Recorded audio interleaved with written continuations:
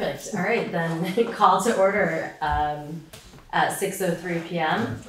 Um, Welcome, everybody. Thanks for being here. Today's before the end of the school week.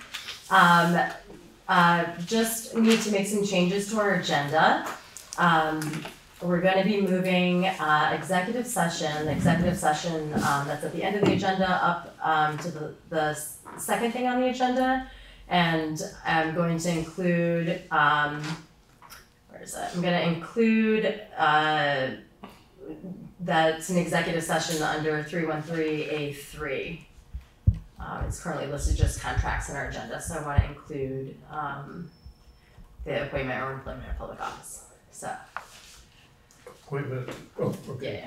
yeah, yeah. Um, okay, I'm sorry, I can't actually figure out how to see people and look at my, my to-do list here.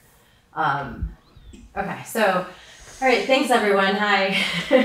Um, I wanted to just start off right away and congratulate Mark um, formally and publicly at our meeting for uh, being promoted to the, not the interim superintendent, but our superintendent and uh, leader of the district here. Um, and also congratulate everyone for wrapping up another really harrowing year. It's been two really long years. It's been a lot for everyone. Um, and so just, I'm I'm happy that it's summertime for everyone, but I'm I'm just really impressed and um I don't know. I don't know to say the thank you because I know it's been an exhausting two years and I'm I'm just hopeful that as we continue to roll in and Mark goes into his second year, which is something I've never experienced, two consecutive years of a superintendent. So I'm really hopeful um that that things feel a little bit lighter for everyone. Um so the first thing on our, our agenda is we have a guest presenter, Phil Gore, who's the Director of Board Services um, from the Vermont School Board Association.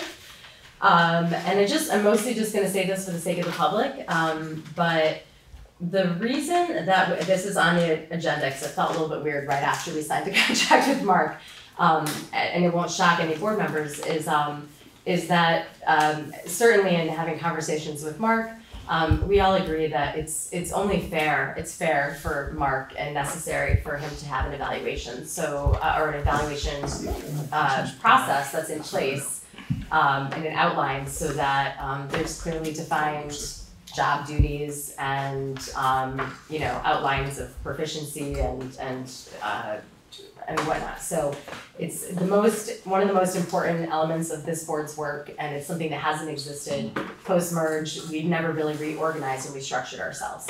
Um, and so this is step one, um, of many things that we need to do to start, uh, being able to work better together. So with that, um, and I'm, I'm gonna get back to my Zoom page, oh, that's why I can't see it. With that, I'm going to welcome Phil, and Phil, hi. Thanks for coming.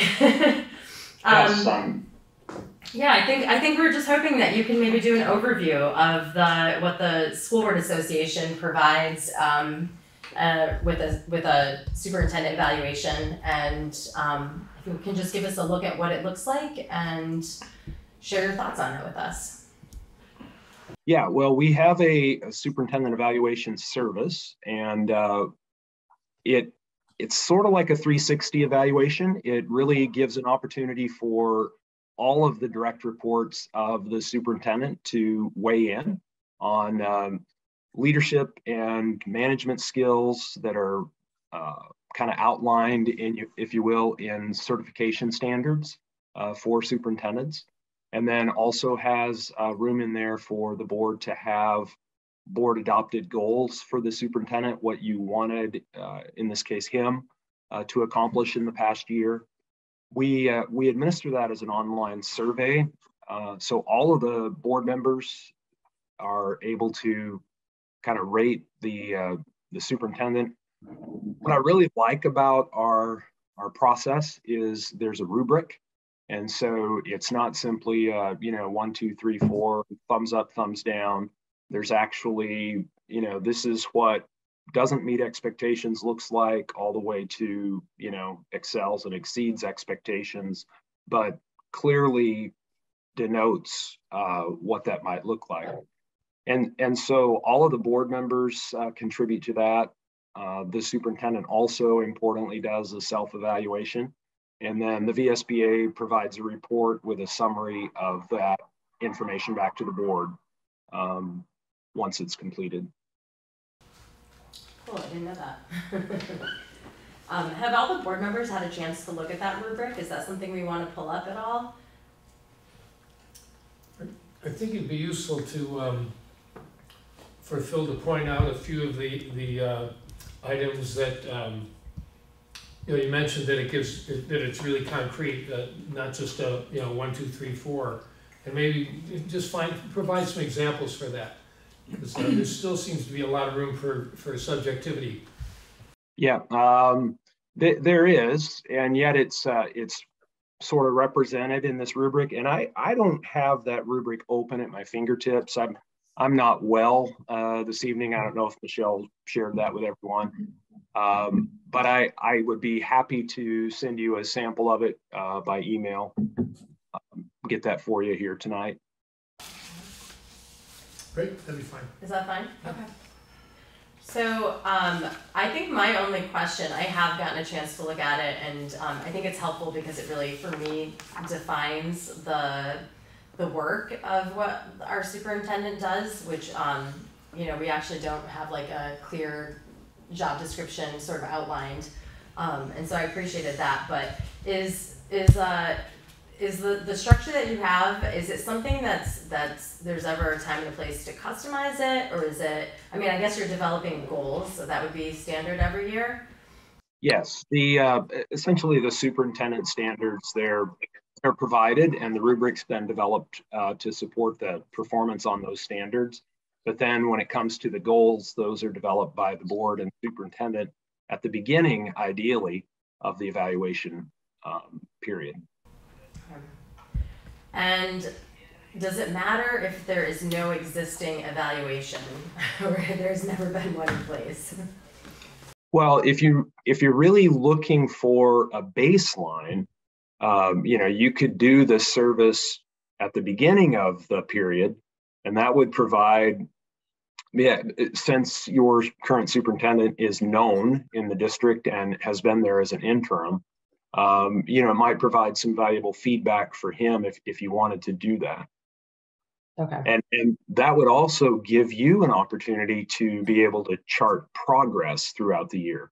Um, I mean, in theory, you could use this same process twice a year, once as a formative assessment and then uh, a summative assessment. And I think we could work with you to make sure that's, um, you know, to your advantage financially and so forth, um, if that's of interest. But I, I, do think it would be really valuable to have a baseline at this point. Um, and, and it wouldn't be, I mean, you're not formally evaluating the superintendent on his first day on the job, uh, but you're providing that baseline for him to consider uh, and for the board to have conversation ongoingly. And how how much would Mark part like participate in working out some of the details around anything that was customized or goals? I mean, I, I think there's like a self-assessment piece is pretty standard. Um, well, yes, there's the self-assessment that he would provide, but you know, good governance would be that he's very involved in the goal setting and um, that those are developed uh, you know if if we work together to do that or whether you do that on your own um, kind of a smarter type framework where they're you know specific and measurable and there's some room in there that you know shows how they'll be re- um, evaluated. What success looks like right?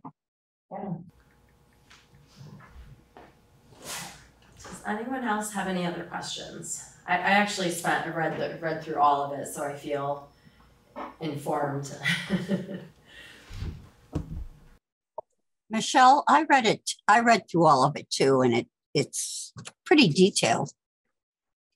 So, actually, yeah, I, I did just find that Michelle. I, is there um, would could I share the screen or it if everybody's um, I would it be think what I have to do I think what I have to do is make you a co-host, which I just did. So now okay. you should be able to share your screen. Now let me see if I can share this window. We also have a question from Ally West and Joe Gruda. When we get to them. Is that showing up? Yes. Yes. Okay. Love to improve the view a little bit. Make it, is it large enough in the room there? Everybody can read that? It's not projecting, it's only on people, Yeah, people would have their uh, screens on on Zoom. Oh, okay. Um, there we go. I want to get down to the rubric because I, I do think this is really the crux of this. Uh, coincidentally, superintendent evaluation was the topic for my doctoral dissertation a few years ago. And I really think this idea of a rubric is, is very um, best practice, very much. Uh, so in the board superintendent relationship, this, you know, first example, um, what does ineffective look like when we're talking about information?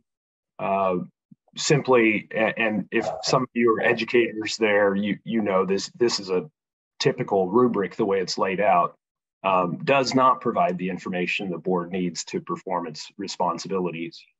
A new superintendent would often be in the developing category, right? They're learning to do this, and so they might be making some mistakes. Um, keep some some board members informed, making it difficult for the board to perform its responsibilities. And then effective, you know, keeps the board informed with appropriate information. Highly effective, keeps the board informed with professional, timely communication so that it may perform its responsibilities.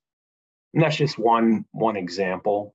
Um, let me try to pull up another one that's not board superintendent relationship. There's policy, business, and finance. So with uh, budget development, um, in the ineffective, the superintendent's budget knowledge is limited. The budget's developed and managed without taking into consideration current needs of the district. And then all the way to the, the highly effective, budget actions are proactive and consider both current and long-range information and data. A balance is sought to meet the current and future needs of students and remain fiscally responsible to the community one of the things I really appreciate about what VSBA has put in place for this is that feedback from the direct reports. Um, I've been in this work for uh, going on 20 years now, and there it's always a complaint that you know we don't we're not with the superintendent day in and day out. We don't know exactly what he does, what he doesn't do, and so the board gets to see here's here's their perception, their ratings, here's the feedback from people that are with him every day and here's the superintendent's self-assessment. So there's an opportunity to calibrate.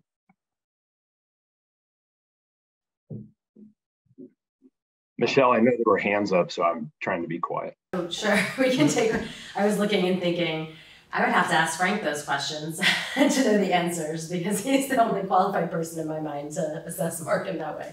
Um, I'm, so, I'm sorry, I can't. Uh, Ally West, Ally West, go ahead, ask your question. you'll have to unmute Ally. Sorry, sorry, Dave. Like, took me a minute. Ignore the barking.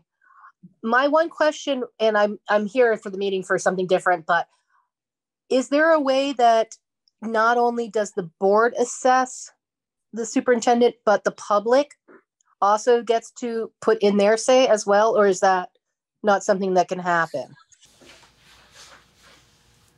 Is that a question for Michelle or for me? It's for anybody who feels like answering. Uh, Phil, I'll let, I'll let you answer, but I know, I know that the board, uh, and I guess that's where we talk about if, um, like accommodate, like, you know, customizing, because I think that's important to the board is, um, that's the idea of the three sixty is to have, you know, all stakeholders maybe, um, feedback, but you, what, what, what is, what is standard or recommended? Well, our, our press, our process doesn't include uh, feedback from the public. And, um, you know, there, there's some drawbacks to feedback from the public. Uh, what you're going to tend to get is customer complaints. Um, and not necessarily what you really think of as constituents, but just a customer that wasn't satisfied uh, with something that was done. So there's a there's a risk there um, of it being very negatively skewed. You know, who would opt in or take the time to complete a survey from the public? However, you know, I would highly recommend that the board have a system for um, public feedback of the superintendent and of the performance of the supervisory union.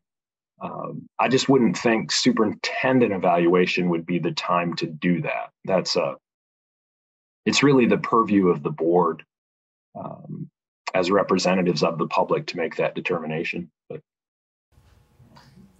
Joe, uh, Um, Joe?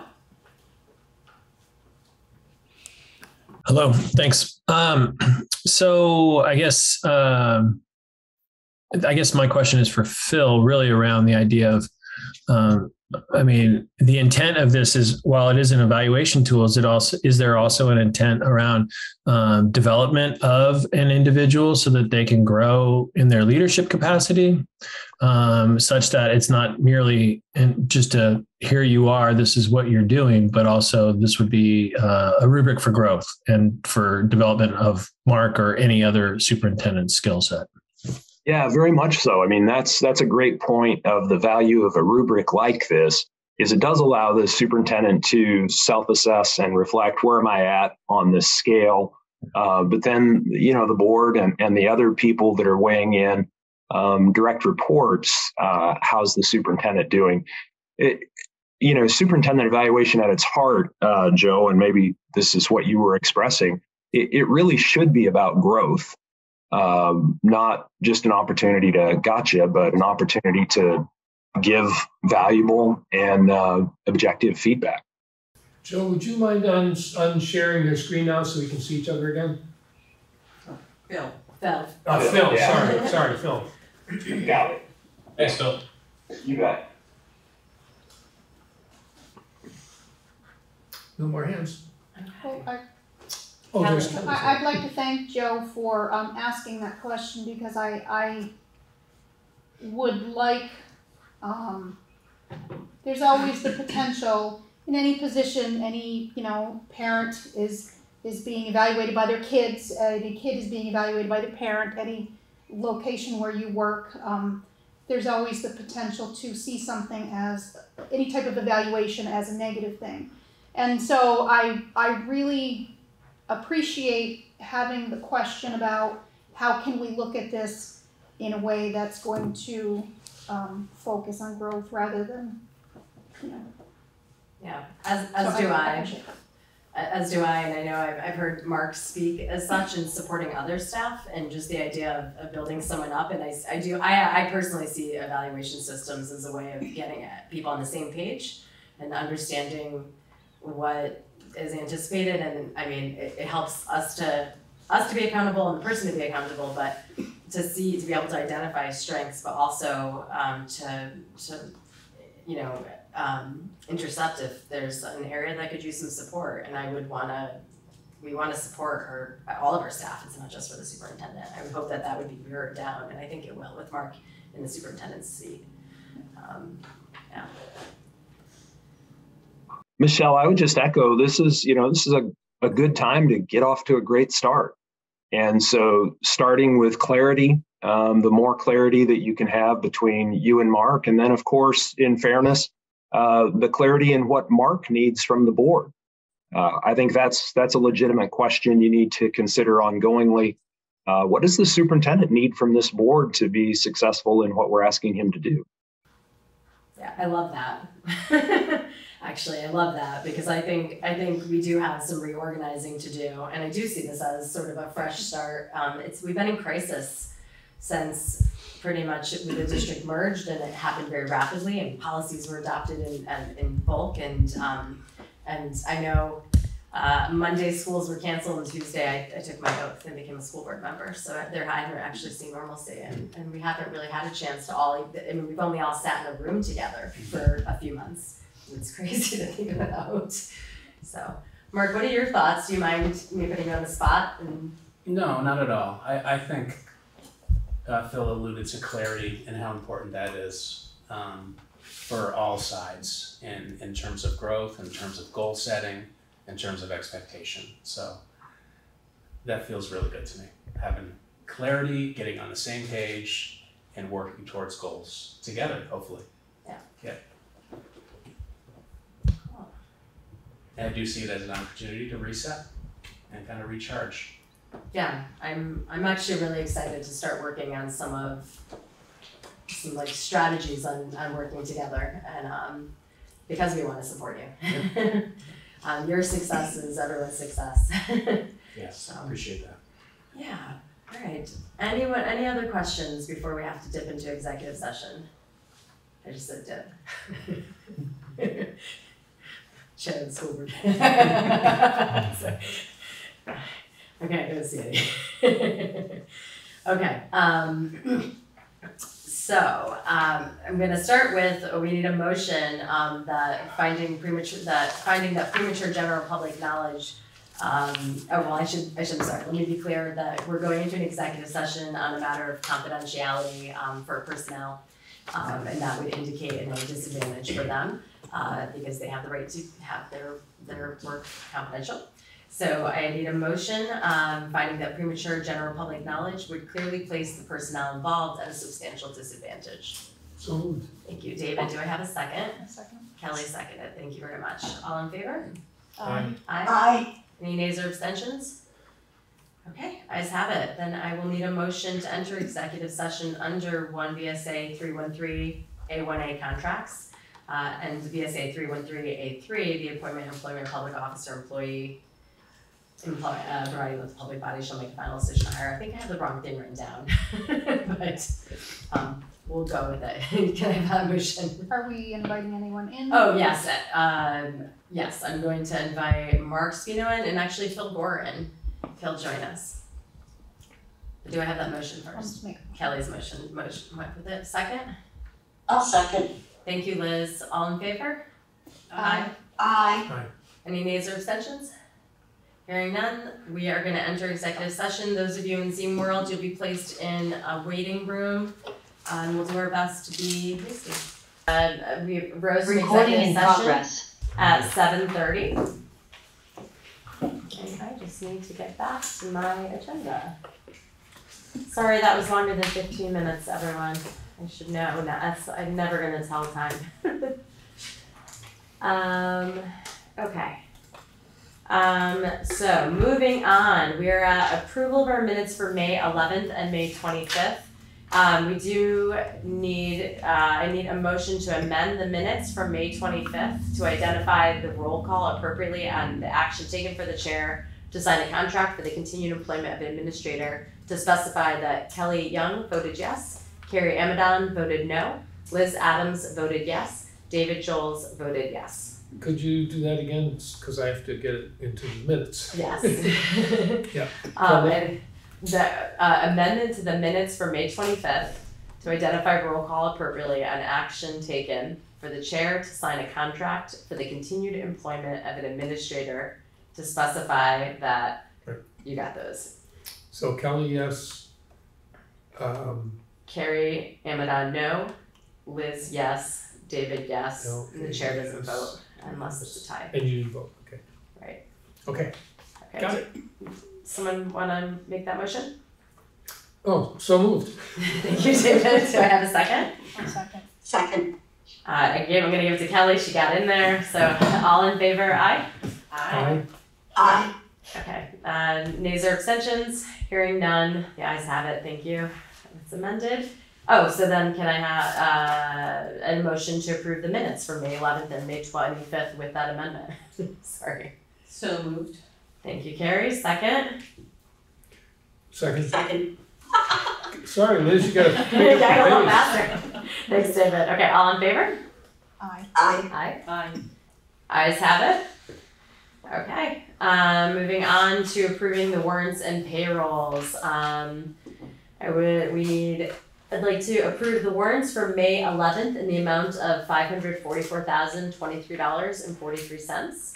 And May twenty-fifth, twenty twenty-two, um, in the amount of nine hundred twenty thousand two hundred eighty-seven dollars and eighty-three cents.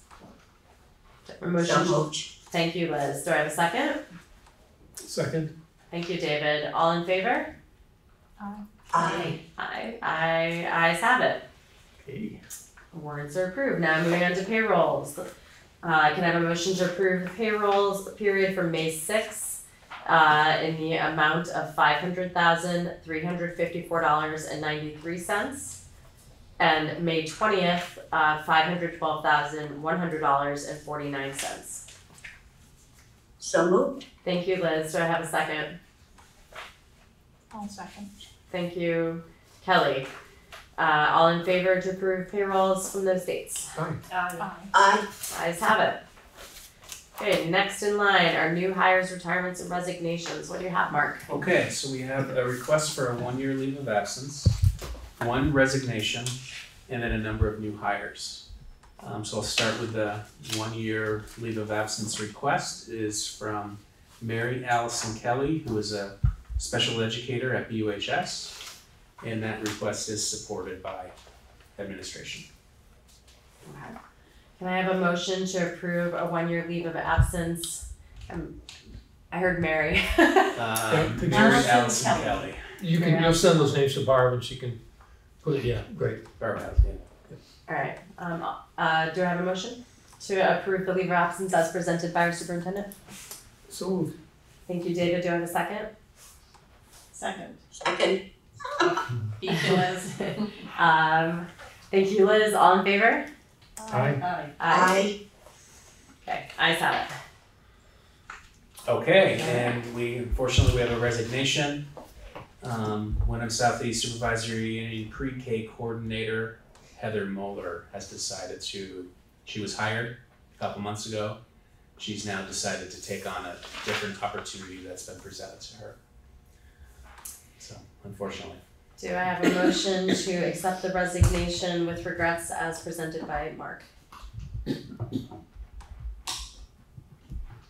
So moved. Who said no? I'll You second. cannot I'll second. quit. I'll second it. No. Thank you, David seconded it. Uh, all in favor, uh, to accept that resignation as presented by Mark? With Aye. regard. With regret, yes. Aye. Great regrets. The ayes have it, thank you. And, okay, handful of new hires. Um, Eileen Arama, BUHS Special Education Social Worker. Catherine Kimberly, Oak Grove Special Educator. Whitney Line, um, Special Education Coordinator, Elementary Special Education Coordinator. Uh, Cheryl McDaniels, BUHS Special Educator. Rebecca Olmsted, um, Windham Southeast Supervisory Union School Nurse Leader slash COVID Coordinator.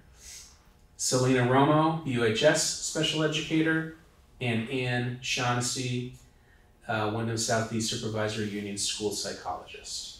wow, Eight. that's Yeah. exciting. So That's- moved. And you second? All right, I got a first and a second on approving the hires, uh, as Was. Kelly the second? Yeah. Yeah, all in favor? Aye. Aye. Aye. That's excellent new news, those are, that's a lot of, um, well-needed Special positions being filled, Yeah. and, and a psychologist, and a, and a, and we're shifting And the social to worker. Rebecca, that's also great for our district nurse, our, uh, coordinator there. Can we ask how we're doing overall? Uh, where we still have, in terms of the S central office positions, we have um, behavior coach open still and literacy coach. But we're potentially have some interviews lined up for, for literacy, which is great. And we're chipping away. Um, we still have openings. Um, we still have classroom teacher openings, some special educator openings. Um, candidate pools have definitely tightened up, but um, we're getting there. Yeah, better position now than we were a month ago or two months ago for sure. And when is Tate's start date? That would be July one, however, we've had some transition meetings already and he'll be in the office next week um, for some transition meetings with uh, Shelley and Liz, and actually Whitney will be joining us next week as well, so. We're starting that transition process, but they don't officially start until Right, July one. Can I ask something? Can I ask something? of course. Oh. Um, Mark, I was wondering if it might be good for us to advertise in states that are getting slammed by their state governments, like Texas, uh, Florida, states that are, you know, shutting down educators and they're getting fed up. And I'm wondering if it would work for us to to advertise in those in that or those states. Um, because people, I don't know if you know, realize, but we I've seen at least three uh, posts on Facebook, people fleeing Oklahoma and Texas, three in the last two weeks, um, and they're coming here. I don't know where they're going to live, but um, it just it occurred it occurred to me that you know they're they're educate uh, teachers are like just quitting because of all the interference in you know from the state government inside the schools. Yeah, it's a good suggestion, Liz. Um, the formats that we are currently using um, to advertise do cover all states in the United States, um, but we could potentially look at targeting like publications in certain areas if there's like a, a, a flux of people leaving for whatever reason. Is there a way you can put Vermont ads in the Texas School Spring, or they have to go to School Spring and click on Vermont? You can't steal there. Depends. It depends on how a candidate filters it. So they can filter it with say just sixth grade teacher or elementary Yeah. teacher, Yeah. and you'd get you know, a million. yeah, yeah. But if you filtered it Vermont elementary, it narrows it down. So. But there is that access through School Spring and Indeed and, and some of the other publications that we talked about earlier this year. Hmm. Um, I- we have no unfinished business uh, that I'm aware of. Does anyone have anything? I don't think so. I think, I think we've got our plate full tonight. All right, uh, food service contracts. So I think that's you, Frank. Okay. Um, David, am I still on the share screen? I, mode? uh, let me just, can you, well, see if it works and I'll, I'll, I don't know if you lose it when I move you out or not, but, um, All right. Make, I'll, I'll make it co-host again just to be sure. Yeah, it looks like I needed to do it again, so you should be okay. Yeah.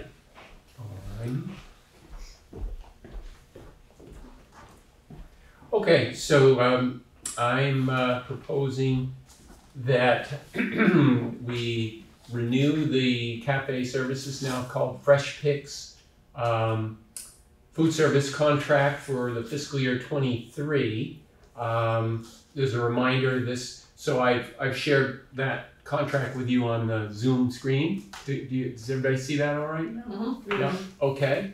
Um, so this represents the fixed rate per meal um, that uh, is part of a five-year uh, bid.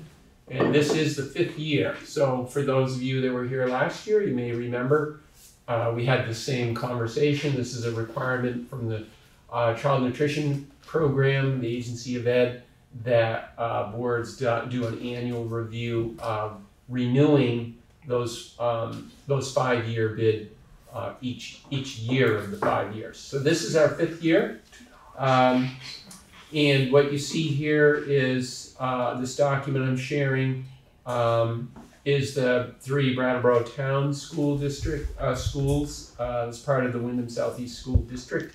Um, the the pricing. Um, and as a point of reference, um, all of the numbers, the fixed rate per unit, uh, are up about uh, 6.7, 6.8% from um, the prior year, the same document you would have seen last year.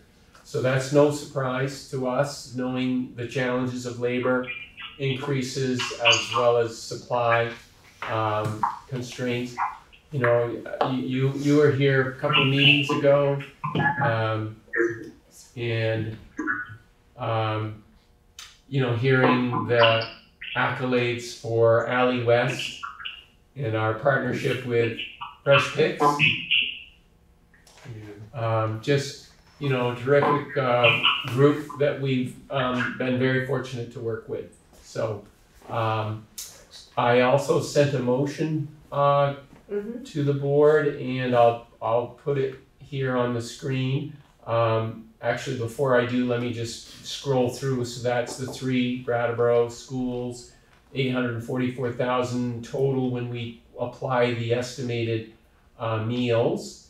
Uh, the Dummerston, a little bit of a different cost uh, structure for Dummerston, Guilford, and Vernon, mainly because of the volume. Smaller sites are a little bit more expensive to operate, um, but it's the same uh, change.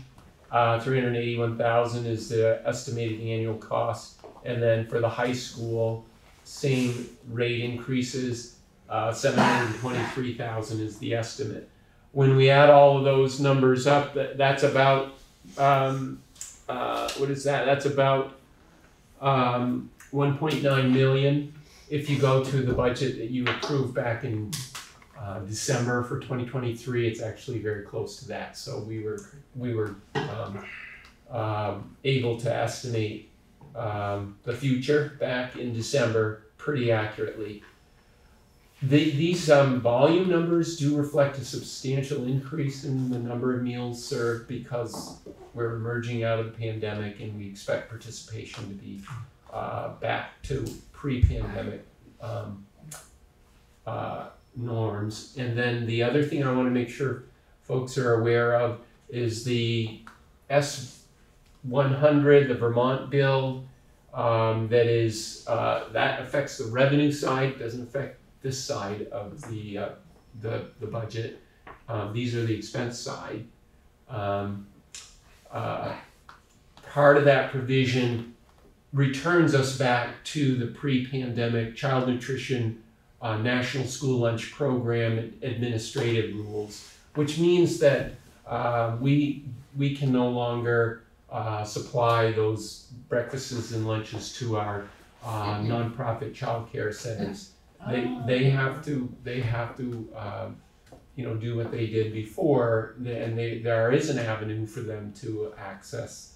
Um, uh, child, child nutrition programs, but not through the public school system. Um, so that's they've been notified, um, and That's uh, July first? and that is no that fortunately that The is summer uh, the stay. summer program will continue through uh, September, and um, and then it will be in um, September that um, uh, those independent programs need to return back to their procedures. Um, it's it's also because there's so many rules that go with counting meals, up, um, getting applications for free and reduced from parents, uh, being accountable for the monitoring, the food safety. We're not we're not built to take all of those rules on. They suspended most of those rules, not the food safety, but a lot of a lot of the mechanics of managing, uh, and that's why it was realistic. And Ally and Fresh Picks did such a great job. You, and you heard, you know, John Sessions and so many others uh, pitched in to make that work for our communities. Um, but we are heading back, hopefully, toward more of a of a of a normal um, school environment, which returns us back to those those um, operational kind of goals. So I will click back over here on the motion, um, and uh, glad to try to answer any questions if you have them. Does anyone have any questions? Okay, well then, uh, can I have a motion to approve the food service management contract with Fresh Picks Cafe uh, for the FY twenty twenty-three year five of five-year mutual agreement to manage child nutrition programs at Academy, Green Street, Oak Grove, BUHS, Dummerston, Guilford, and Vernon schools. So moved. Liz, Liz, No. second for Kelly? Kelly, yeah. Okay, all in favor? Aye. Aye. The ayes have it. Thank you, Frank. Okay, you're welcome. covering that, yeah. Oh, and you know, thanks also to uh, Mary Lou Steiner and uh, Susan uh, Gabowski at our office. They, they do a tremendous job with all of the compliance requirements and uh, working with, with uh, Fresh Picks and state officials and so on. They organize volunteers, they, they just do a tremendous amount to make this thing work. They- They've done a really excellent job. really These have. last two years have been amazing, and I'm, I will in the fall invite them to come in and talk a little bit about that because I was so I I'm still like wow that they were creating professional development, and you know it's Mhm. just such an intricate system. But it's um yeah, thank you. Okay, where where am I? Sorry. Um, next, what is next? Oh, the BCTV agreement. Um, um, so I need the board, so, um, BCTV has changed, um, they had, they've had a couple different rates over the last couple years because of, um, COVID and as it dissipates, they're going back. Um, so their new pricing will be one hundred and fifty dollars per meeting that they cover. Um, and, um, I, I, I, th- I think that it'd be nice to schedule them to at least, come for all of our regularly scheduled meetings. And we can use our discernment if we need to ask them to come for, uh, something that's off schedule, but, um, does that make sense to anybody? Does anyone want to have a conversation about that? Yeah, I- well, I wasn't on the board last year, but it seemed like, well, of course, you were doing a superintendent search, so you were meeting a lot. I'm just wondering what, well, this year we're doing the, all of this, so we'll probably keep on meeting a lot. I'm just thinking if we schedule the sec, was it first and third, we do We were alternate? second Wednesday. We were Oh, trying to once, the we were second trying to be once a month, second Right. Wednesday, and we were trying, I think we had it laid out, so we literally had eight meetings, regular meetings. So that's what we would schedule and then hope for, if we needed more, that, that they would be available like they were tonight. Yes, Yeah, so this is a regular, well, I mean, it's not a regular, but it is our monthly meeting, it was a little off Oh, okay. schedule, so Yeah, I I would I'm think this is our. schedule. Yeah, yeah, no, um, because it- like what Carrie said, we did the second and then, um, and then we were asked actually to push it off because, um, Frank had a bunch of things that couldn't be, be taken up until tonight. Um, so, um, I guess the motion would be, um, you know, approving, um, contracting them to cover our regular board meetings, I, I don't, um, I mean, we could revisit that with budget season, I, I guess that's the only thing, um. What if we said we authorize the chair to use her discretion for when an agenda is full. warrants, well, warrants a BCTV being here to film? If, if we're only having an executive session, I agree. Yeah, makes sense. But but if we've got something where we are doing warrants and we are doing hiring and contracts and that, like an agenda like this, to me warrants BCTV. Yeah. I, I agree. So That's, if I, we, yeah. is everyone comfortable giving Michelle the, use my discernment.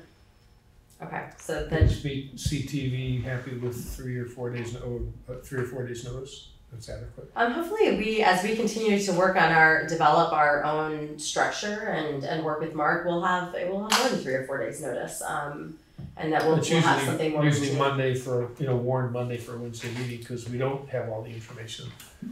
Or maybe it's different, or it'll, maybe it'll be different, but it seems like that's always the case. Mhm. or if you Is it try real? to have your heavy agendas on the second On Wednesday of that the month. Wednesday, yeah. I, I, I would, uh, does the site, do we continue? Everyone still feels good about this? I know that our SD schedule kind of gets scrambled up a little bit too, but if, if we're con- consistent with that, I'm happy to schedule BCTV to come to our, these types of regular the second, meetings. second, yeah. Um, and I, and I bet you that I'll, I'll turn to somebody and say, what do you think? Should I have them come to this meeting? We were covering this. So how about, uh, uh, per meeting for our regularly scheduled meetings and as needed?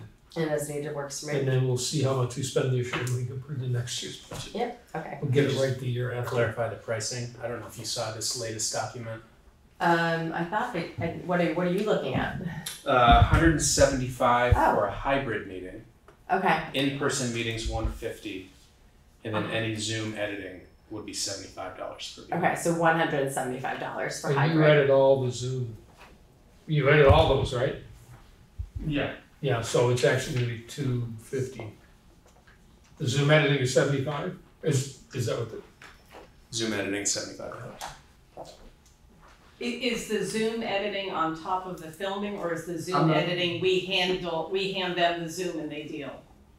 I don't really know about that. Okay. I, I'd ask What like we Helena, s- let Helena at BCTV. She'd be the one, the best person to talk to Yeah. about that information. Yeah, Yeah. cause what we, what we, what you see when you watch BCTV is very different than what the Right. meetings, they, re- you know, they really clean it up and. I can- It's I can get clarity, I, um, I, and I, I don't, guess I did, I guess I don't, I had written down one fifty, I don't know why, um, cause this has my name on it, and I don't remember seeing that.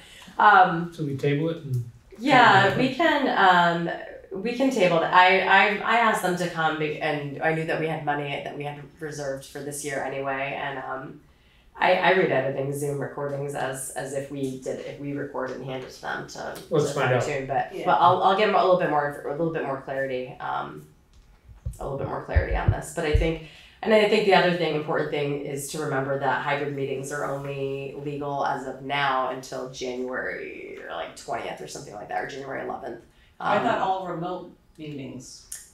remote remote the Remote remote, option is in legislation until this coming January. Right. But Hybrids. hybrid, Hybrids, there's no regulation there's regulation no around it, regulation except on that hybrids. the, um, people that are coming online aren't guaranteed Right, the rights so- that we have if they're here. But I, I can't imagine that They'll the go legislature's take gonna hybrids away, end the yeah. public access to, through remote. I mean, this is gonna always be available. I think we're gonna have to meet next week and this will be an easy thing to to address. Yeah, we'll have easy yeah, answers by next So table to June Okay, so we'll second. table this to our next meeting, yeah, Okay, that's fine. Okay, website development and design bid. Okay, uh, let me give you an update on that. Um, so I'll share the screen again. Um, so we, we worked with a group called um, TMS Solutions. They're a, they're a business consulting group specifically for for schools um, that uh, assist with a variety of things, including uh, RFP development. So so uh, as a result of the board's discussion and um, and some of the requests, uh, we asked um, this group and our contact is Andy Brown to develop a request for proposal on our behalf. So he- here is the actual RFP that got uh, um, published, and I don't know if you recall, Michelle, that I shared this with our with all of our boards um, before it went out. Uh, Carrie, you made a couple of comments, um, and um, and we are pleased to see that we it, the bid opening was today at two.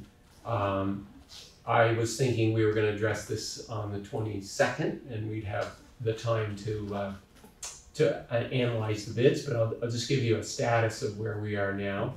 So here's here's the the, the bid RFP as I, I as I say. Maybe I'll just scroll to the uh, scope services. Um, this just outlines the rules of, in, you know, in, engaging in the process. But uh, here, here are the um, scope of services. Um, this, this first one, uh, assess and, and audit the, the current website. Obviously, is important to understand um, what we've been accustomed to and you know areas for improvement. Uh, the second bullet is probably the most important in that it's the engagement of, of um, this, the board, the staff, you know, parents, community, um, as, as part of understanding the structure, the um, uh, content, you know, and problems that need to be addressed as a result of this. So that that's uh, as you can see here uh, through an interview interview process, uh, surveys. Um, and uh, you know a very uh, purposeful gathering information gathering process so that'll inform um, the design and then you see there's the other parameters here uh, accessibility uh, understand the infrastructure that it needs to run on in order for it to be maintained and, and uh, there's a training component um, understanding you know who the editors are making sure they have the capability of uh, maintaining and, and contributing. Um, the there's a reference to content and and um, the way in which that gets um, integrated, um, and uh, also the uh, the cyber security issue. You know, is a growing issue more and more and more. Um, that's that's another element of the RFP and the expertise we're looking for from the bidders. So uh, there's a quick snapshot of, of the RFP and then um, the results of the bid. As I said, just two o'clock today, we got uh, very pleased to see we have four, four bids. Um, uh, I have them here and it's from um, organization called uh, Interactive Educational Services. They also call themselves Cyber School. Uh, uh, is a second bidder. Digital Creative is a third bidder, and uh, Rainstorm is a fourth bidder. Um, uh, so what we're doing now is uh, Andy Brown, the consultant that helps design the RFP with our, our feedback, is evaluating the four bids. He's creating a rubric that essentially identifies, well, number one, did they meet our bid spec? Do they have the scope of services that we've asked for? Um, and, and then identifying the strengths and weaknesses of, of each proposal, uh, along with uh, understanding cost in terms of are we dealing with a single kind of upfront charge in their proposal, or is the relationship more along the lines of a proprietary sort of uh, uh, software that there's an ongoing fee? So those are all important, along with the cybersecurity. To what extent, you know, are- are they keeping us safe? You know, preventing a uh, sort of a forced shutdown of the site and those sorts of things. Um, we expect to meet with them on Monday and um, and uh, have uh, I don't know if you want to have this on your agenda again next week or if you want us to uh, if you want to authorize us to award the bid to the um, to the uh, preferred vendor e- either scenario uh, is fine with us. Um, I'd like to see the, I'd like to see Andy Brown's report. good. Just, Okay. yeah. So you have you have time next So we'll put it on the agenda next next Wednesday. week. Very well. And also, and just in terms of specifics, and again, just trying to think about how this is gonna serve us for, you know, for as, as far into the future as the technology holds up, is, um, having someone, you know, having the kind, having someone that's, there may be an advantage to paying more money for somebody that's gonna be going along with us all the way and doing the up, upgrading and stuff. Because uh, we don't, you know, we may need to hire somebody, and if we hire somebody, we've got everything that goes with that, as opposed to a, someone who's contracted. to- We're not, we're not committed to the lowest bid, we want the best bid, Yeah. um, proposal for our school district. Yeah, so, yeah, so I- that's why I like seeing. The, the other component that we've um, pursued is, is just like with any significant project, we, we are asking Andy Brown or TMS Consulting for uh, a proposal for assisting with project implementation, just, just like we do a clerk of the works at the academy building. Uh, somebody with the expertise that, has done this a hundred times or many times. Um, so I, I should have that, which kind To of show us how addresses to make it your- work. yeah, addresses your point, David, yeah. Thanks. So I have two questions. Did you, did you send this to us? Or can No, we just got these Can you today. send this, the document that you just shared? Oh, the Can you- RFP? No, that we got. Yeah, we did get that. We did, Yeah. okay, I didn't, Yeah, I it's, didn't see it's this, in so I- that whole stack of, of the Barb sent. And so maybe I'm going to ask a question that's um, addressed in there. I guess I'm, I'm interested in understanding how if you're, if the lowest bidder is not the one you're gonna select, which I am not saying that I think that that's always the appropriate uh, determining factor.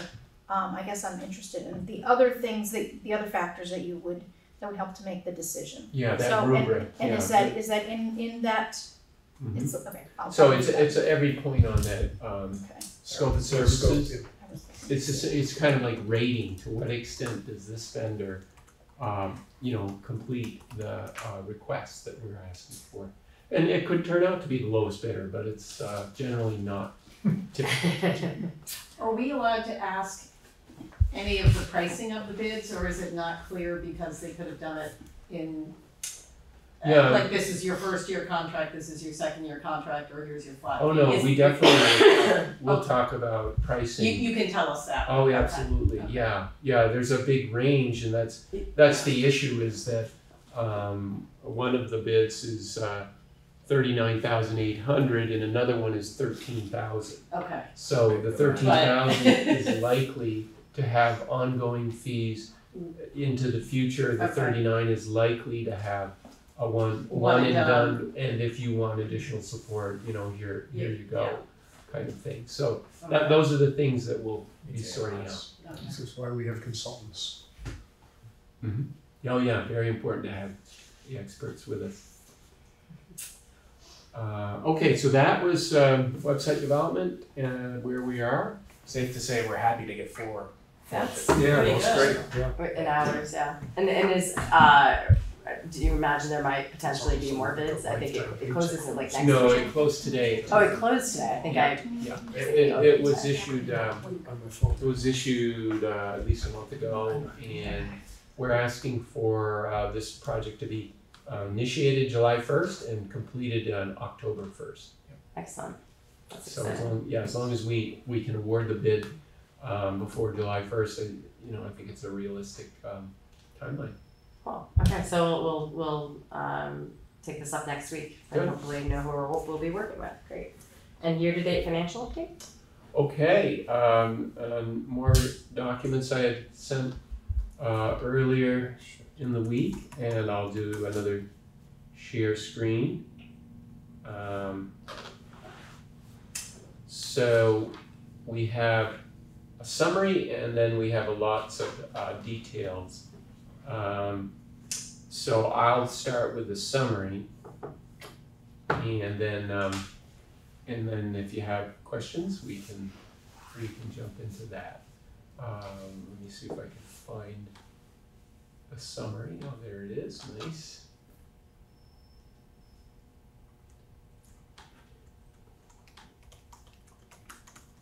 Okay, so, so this document is the same format as what you're accustomed to seeing in our annual reports. And, um, and uh, it's the kind of the culmination, the- it's a one-page document of uh, when the budget process is finished uh, each year. So um, just as sort of a reminder, um, we are organized at the SU in these functional areas, the four functional areas, admin and, and supportive instruction, and then special education services, um, grant um, funded support, and then our food services. So, uh, and you know, by the way, when we think about meetings and schedules, we typically schedule a meeting for budget development around each one of those. So that's four meetings in itself. Uh, but that's only typical. I don't know, uh, you know, necessarily how that will go in the future. So, so I'll start here with the the expenditure side. Twenty eight million one sixty three is the SU amended current year budget. Um, you would have approved as a board the twenty-three million, one fifty-five for FY twenty-two.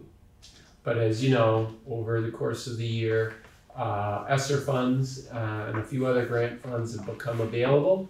Um, so you see, we've added five million dollars to the, um, the initial, uh, board-approved budget that is all, of course, funded through grants. Um, this is all part of, um, agency of ed requirements that, um, unlike the old days when grants got approved after an annual meeting, you could kind of keep track of them on a spreadsheet or sort of an off-book thing. I, I, I was happy to do away with that years ago. Um, so when there's a, an approved grant by a state and federal agency, we add it and we amend uh, the um, public record, which is the general. And then do you add the expenditures into the lines where they? Absolutely, yeah. Yeah, because that's super important to track uh, progress. Yeah. Um, so, and then the the the uh, data here to the far right, two point six million. Um, th- this is through May. Uh, so for the month of June, um, this would be the still the amount against budget, right? Twenty five million spent versus twenty eight million dollar budget. Um, that's the amount potentially that we will be dispersing um, this month. Um, I think it's unlikely that we'll disperse all of the grant um, funds, and you can see that in the amendments when you, when you just kind of quickly scan this data. You know, no no change here in the in the support of instruction, transportation, and admin. You see the two numbers are the same, 3.9, 3.9 a little change in special ed, fourteen point eight versus fifteen point one. The big change here is in grants, two point seven million to seven point three million. Um, if, if we don't spend the grant, then, um, then we don't get the revenue. So I'm, it's- the point is, is it's, it's a self-balancing thing. Um, uh, question about that. Mhm. The, um, I remember when the, when the second ESSER came through, they, they emphasized that all the guidelines and requirements were gonna be the same right down the line, but that the, this last one, the, the, the one that we're in now for the la, these last, last two years, that, that you could change, you could apply for grants for particular things, but you could change them as things went along, so if we wound up not, you know, we, we get to the, we've got fifty bucks left over at the end of the year, and it goes into the next year, can we apply to use that for something else that just emerged that we really see a need for? We could, but at this point, we, we have to start, um, pushing things out of the, the requests that have already been made for fiscal year twenty-three. Um, but at the same time, we're encouraging everybody to ask for what they need, you know, and so for a lot of that, it's been social workers and, um, the, uh, literacy coaches, the, um, additional nursing, um, but, um, maybe another way to say it is, uh, you're referring to the nine point five million in ESSER three. Yes. This is, this is just ESSER two. This is And still we're- two. We're wrapping up ESSER two, and I'm saying of this, uh, you see unspent in the, um, grant section here, two point four million. Mhm. Um, there's a good, obviously, we know we're not gonna write the check for the academy school Windows project in June, cause it's not even scheduled to be done until, uh, August. So there are things that are simply gonna They're roll just gonna in. get paid later, yeah. Yeah, but, but we were shooting for initially about half of an ESSER three in fiscal year twenty-three and half in twenty-four. Well, we're already up to spending six million, so half of nine is, you know, four and a half. Yeah. We're already at six million For twenty-three. twenty-three, Yeah. which means we can't sustain everything we're doing in twenty-three and twenty-four. So to get to your point, yes, we can make amendments, we're encouraged to make amendments. Um, but at this point, it's gonna be more, you know, as we knew was coming, what's essential, what's having the impact that we expected.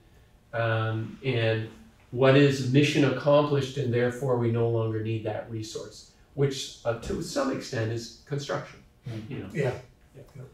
So that, that, that's where we are at in that process, but, um, we've done very well with the, uh, Agency of Education in terms of meeting their requirements and, uh, uh, you do have to spend the money, document it to get reimbursed. That's why when you look at revenues, um, the revenue number is four point six million still receivable. You know, more than the, the payable. Well, the reason is because, uh, we probably have eight or nine hundred thousand right now that's receivable based on what we've just reported is spent, and we won't get that until in at least two weeks. So there's always a lag between us spending the money and then waiting for the uh, agency to reimburse us. It's nice that they didn't change the rules from one to two to three. Yeah, yeah. Well, the the ESSER three is quite different, but it, it's uh, but it's not it's not different than what we had anticipated in the FY twenty three budget development process. So so it's consistent. So that's that's the quick uh, overview. All of this is on the uh, website along with the with the detail reports that are again broken out in those four sections, and you know they're about eighty pages of, of on each one of those functional areas. Um, and maybe one last thing I'll mention is that um, we always put monthly financial statements, even though it's not always on the agenda for the SU, uh, on the um, the website under uh, it's the SU website, central office, and then finance, and then you can go to year-to-date financial statements. Um, and uh, we have it for both the SD and the SU. We also have all the audits for prior years and um, most recent. So information's available if, if folks are interested. I think that's all I had. Great. I know that all that paperwork is under finance and they have to go to finance under central office to find the finance Yeah. and that's all, I can't wait until I can't wait October. till we make that a little bit easier Yeah. because I have to think about it every time. So, but thank you for mentioning that because there's a lot of information on our website, it's just so compartmentalized. Yeah. It's hard to find. So, great. Okay, um, so this brings us to, we have some time allocated for public comment. If there's any, anyone in the public, um, that's been hanging out and has, We do have partici- participants. I I don't see any hands up yet. I don't see any hands either. If you have any comments on anything that was on the agenda, this would be the time to ask. Okay, seeing none and that we have no further business, can I have a motion to adjourn So moved. at eight fifteen? So thank you, David. Is there a second? Somebody wants to stay. Second. Second, Carrie, okay. Uh, Actually, the we're chair can- adjourned to eight fifteen.